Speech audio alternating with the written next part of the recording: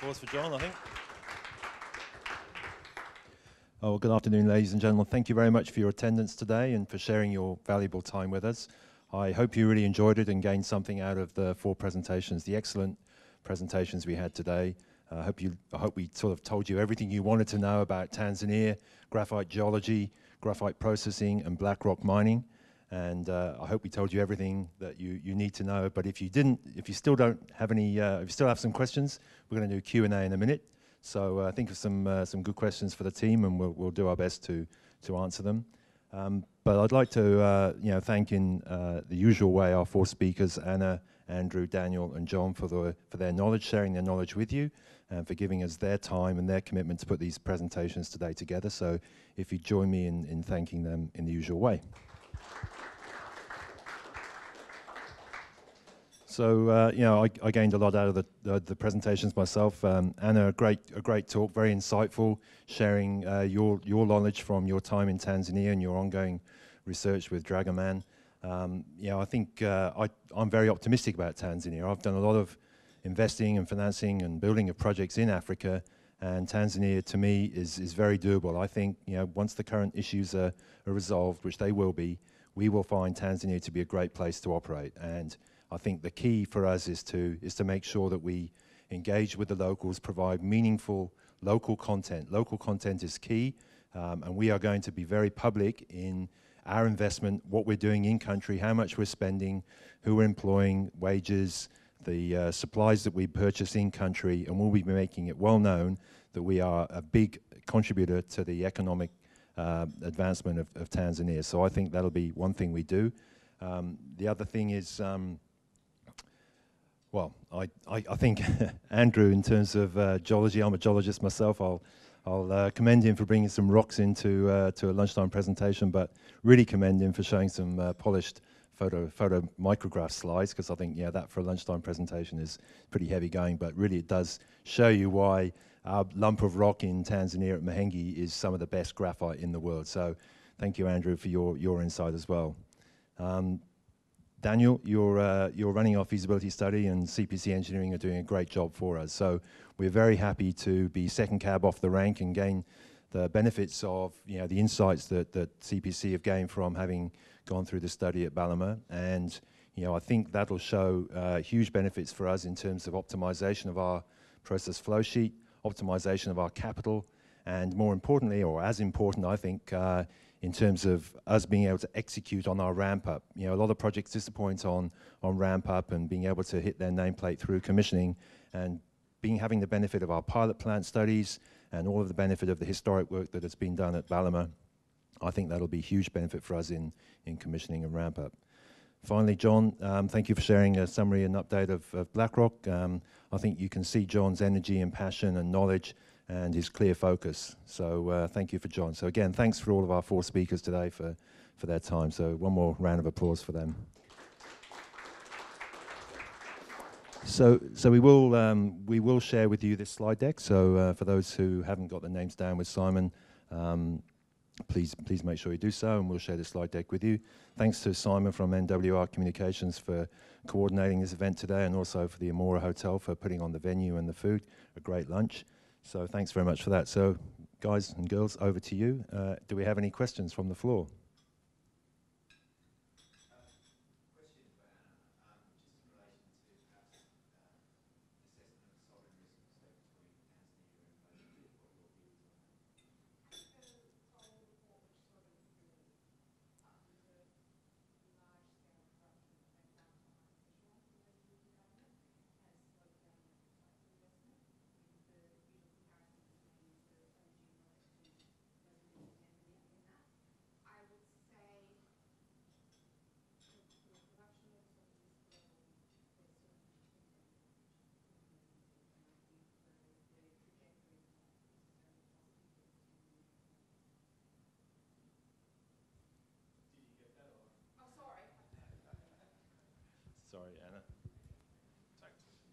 Sorry about that. Um, I think the trajectory in Tanzania is far more positive than Mozambique. I was just referencing the Kroll report on which uh, uncovered large levels of corruption in Mozambique right to the top echelons of government. I think the trajectory in Mozambique is not positive from this perspective, whereas in Tanzania it is. And again, one of the commonly used comparisons are the LNG projects, both in Mozambique and the planned LNG projects in Mozambique and Tanzania. And it's always been a bit of a race which one will go first. And I think this risk we're seeing that people are leaning towards Tanzania in this regard. Any other questions? Um, I, could, I don't think I need that. I've got one for each of the speakers, so I'll keep it short and sweet. Anna, um, is there a defining moment or event between now and the election that we should look for as a turning point? Either things are getting remarkably better in TZ, or it's off the off the rails again. I don't think there's going to be a big foot stamping in terms of a remarkable event. I think we've seen the big man politics play out. I referenced the obviously Shell, Acacia, Dangote, the big events have happened. I think there will be a stabilisation, but there'll also be a sort of stabilisation within the party, in that although the CCM has always won each successive election since the introduction of multi party politics, from memory, they only won 54% of the vote last time. So I think there's going to be a stabilisation within the ranks in the lead up to 2020, but I see President Magufuli going forward as the candidate. I think so long as it's, you know, it'll be a stabilisation period, there'll still be tweaking, but I don't think there's going to be a significant event between now and 2020.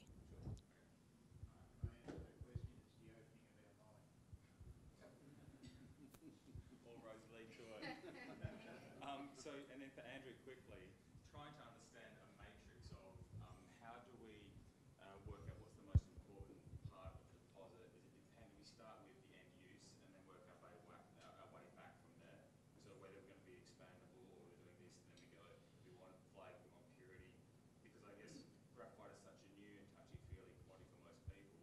We're not quite sure all these different events we go to. It's like someone's got a better flake, a bigger purity, a better this and a bit of that. H- How do we kind of look at it uninitiated? Do we start with what the end use looks like and then we prioritise from there? Okay, I'm a geologist, so I'll probably start with what's in the ground, which actually, as a general rule, controls the product that you're going to get out of it. So I don't know if that answers your question, but are you looking at how to evaluate or compare them? And it's the proportion of each that are, that come out. I think some of them have a lot, you know, a high proportion of very fine material that may be used for batteries, perhaps.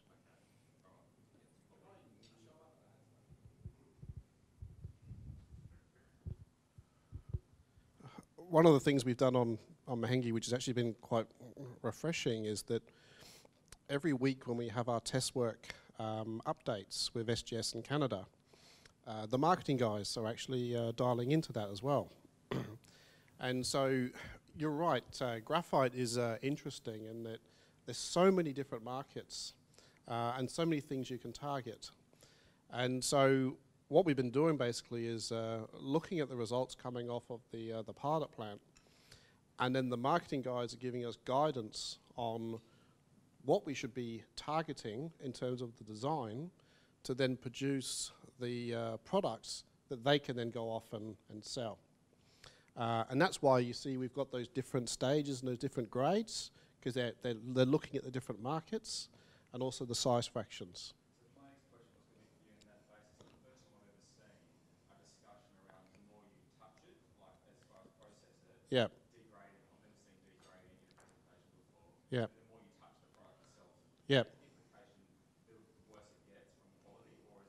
Size of plate? So, so basically, uh, I mean, polishing is basically grinding, where you're trying to break off tho- that last of that gangue material from the graphite flakes.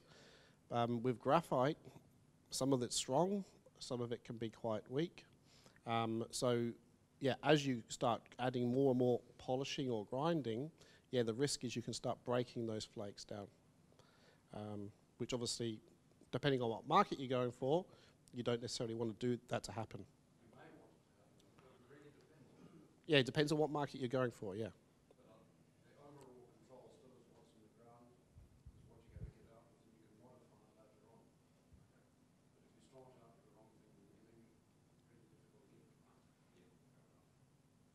And then John, just a question for you. Um, is it the onus now for all graphite miners to prove in a battery cycle test that your product's good enough? I would have thought that would be for your offtake partner to go and determine, to go call their clients and say, I've got the best graphite in the market, you need this, or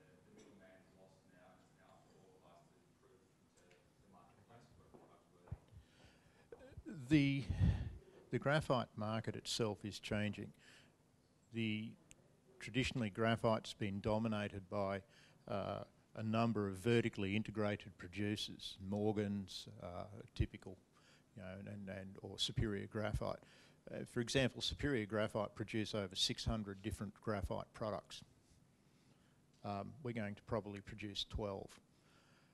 So 600 different graphite products, you're able to choose your price point and be very, very focused about your price point, but it's pretty difficult to gain economies of scale. Um, what we're doing and, and, and what's changing with the, the new generation of graphite mines is we're able to achieve significant economies of scale within certain product segments. And, and importantly, um, we're not trying to be everything to everyone. And I just go back to that, those three things you need to get right, focus, focus and focus. So we need to make sure that we're focused on delivering low costs. We're focused on selling our product into those sections of the market that'll value it most. So value in use is very important and doing adequate value in use calibration is critically important and that's where that battery cycle test um, and, and the expandability tests come in it because I can sit opposite a, a battery spheronizer and say, I know my material yields 65% yield in spheronizing and I know the Chinese material you currently buy yields 30%. On that basis, why wouldn't you pay double the price of mine? Now, I don't mind leaving $20 on the table on to, to get the sale, but I'm not going to leave a $100 note. And to make sure I'm not leaving a $100 note, I need to do adequate work to, uh, to make sure I understand my value in use.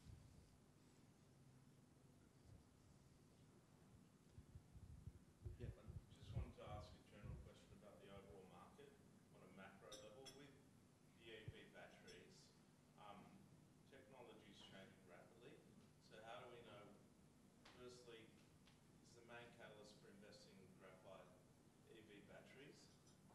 And two, how, do, how much graphite goes in an EV battery? The rule of thumb is you need one kilogram of spheronized product to produce one kilowatt hour of battery. Um, so if you're using Chinese flake, you need three kilograms of input material to produce one kilogram of uh, battery feed material.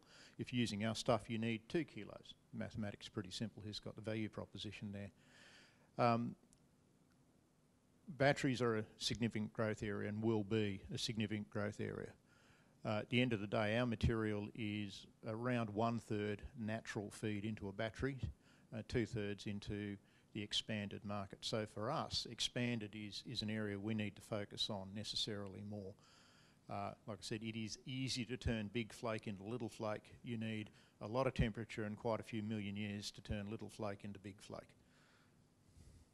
In terms of battery manufacture, you've got the lithium-ion battery has a carbon and lithium, right? So the carbon content shouldn't, in theory, change even if technology changes around energy, uh, lithium density in, in the battery itself.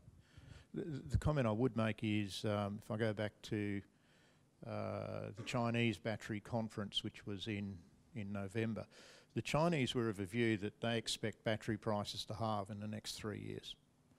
And that's on the back of increased material availability. You know, lithium is obviously attracting a lot of attention, so I don't see lithium prices staying where they are for that much longer as we get more entrants into the market. Um, I would ditto expect the same out of nickel sulfates and cobalts as, as product comes in there. And we're going to gain critical economies of scale in the manufacturing of batteries. So any new technology is going to come in, but it, geez, not only does it need to compete the current price point of lithium-ion battery, but it needs to compete that price point where the lithium-ion battery will be in five years' time. But the market isn't all about isn't all about batteries. For us, there's other markets developing for gra- graphite, particularly in insulation and uh, expandables. you know, there's a there's a huge growing market. So what percentage of your market would be batteries that are black? And I said, we, 30% of our grading curve, because we have a material sizing curve, around one third of our product would naturally go into batteries. Um, we can turn the rest of it into battery feed, we just need to mill it a bit harder. Um, two thirds goes into the expanded market. And, and the battery feed market at the moment somewhere between 850 to $1,000 a tonne, depending on your product. um, some of the expanded material really gets into some very interesting prices. You know, certainly north of uh, $2,000 a tonne for some of the specialty expanded material. Now, the point at the end of the day is proof is going to be in an offtake contract with a dollar sign in front of it. But uh, if you don't have product open up that conversation, it's pretty hard to have that conversation on a hypothetical basis.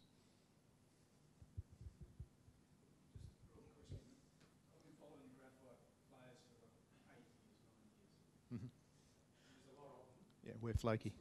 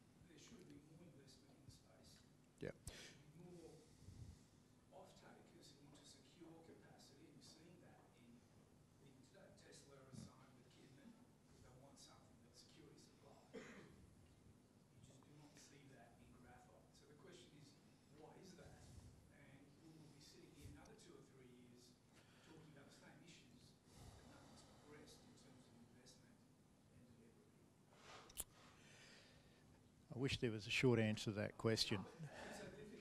Um, I- to, to, to, yeah. Yeah. Yeah, in graphite, flakiness is good. Um, I- I guess two things. Firstly, in graphite, China has been the dominant supplier, right? So I think a whole bunch of the industry has sort of said, oh, it's okay, the Chinese will fix it.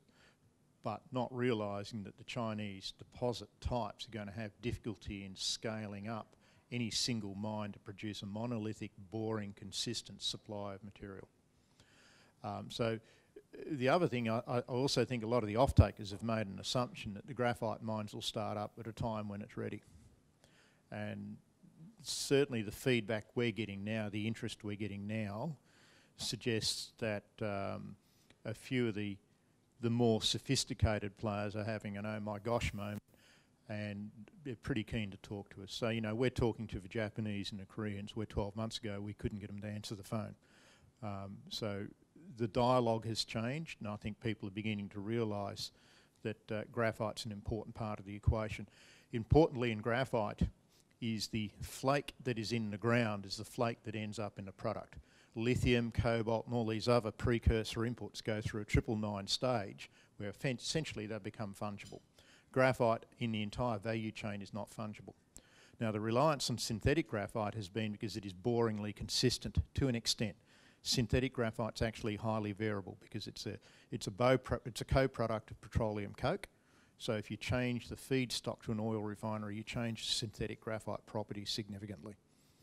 Now, they've been able to say, look, we, will get this stuff off an oil refinery, but the big, you know, the 900 pound gorilla in the graphite supply chain is what happens if the oil refining industry becomes um, uneconomic because of the pullback on, on fuel demand. And that's really going to push people back into graphite very, very quickly. And it's actually a heck of a challenge because, you know, the big one in, in synthetic graphite is electrodes. You know, that's a, a million and a half tonne market on its own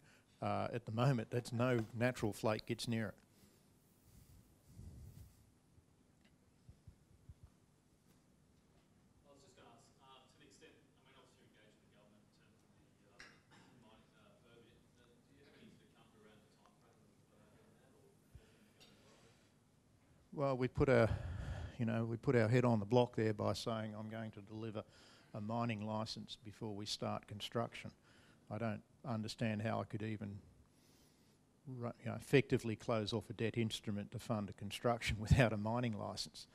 So, you know, where we are now, I have five months to get a mining license or, or, or seven months to get a mining license. I'm pretty confident we're going to get it. The window's opened. Um, as, as Anna pointed out, the arm waving and the foot stomping stopped. Um, there's a bit of an oh my God moment, what have I done going on in Tanzania? Because, you know, everybody did take their bat and ball and go home. Uh, and, and at the end of the day, Tanzanians still want mobile phones, cars, and all these things that you need to pay for with foreign exchange. They need to do something to earn that foreign exchange. Um, so, you know, th- they've woken up to it, um, and I think they're, they're pretty keen to welcome foreign investment back, subject to that foreign investment being a lot more ethically driven than some of the behaviours we've seen in the past. And, and the big point for us, and that's why the, the Tazara exercise was so important, is it demonstrates our intent to the government to work with local infrastructure to actually create jobs in Tanzania and to use the facilities and services that are available. And the same conversation with TANESCO. Again, it's economic integration. And if you think about, you know, how do you manage political risk in an environment such as Africa or some other places in Latin America, economic integration and surrounding yourself with friends is the most effective political risk management you can get. And, and that's, that's the fundamental of what we're trying to do in terms of setting up our business. So we- we've come to two o'clock, which is the sort of designated end time. I know many of you have other things to do, so we might just take one more question if we have that. The, the, the, are you getting a timely response to your, to your uh, questioning or anything from the government, like you submitted to your advice? We, we are now, yeah. It, it, uh, it's, as Anna said, the, the window was closed and they didn't answer phone calls for about six months. Uh, the window officially opened about a week ago for, for mining licences. We got our EIS in uh, about six weeks ago. It's been reviewed. We've uh, had to modify it and it's going in for its final review now.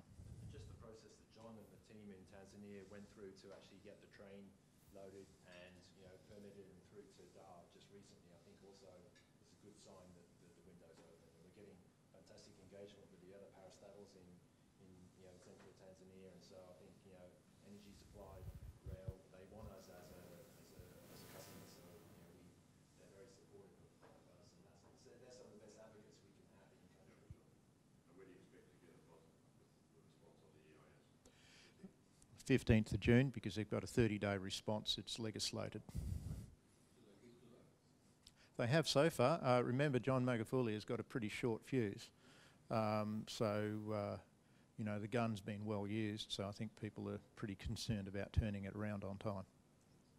So we might just wrap it up there formally. Um, John and the team are going to be hanging around for a little bit longer, so if you want some one-on-one time with John and the rest of the uh, talkers today, feel free to sort of stay. But if you if you need to go, then by all means you can depart now. So I hope we've fed you well. I know we fed you well. I hope we've entertained you. I hope we've educated you. So thanks very much again for your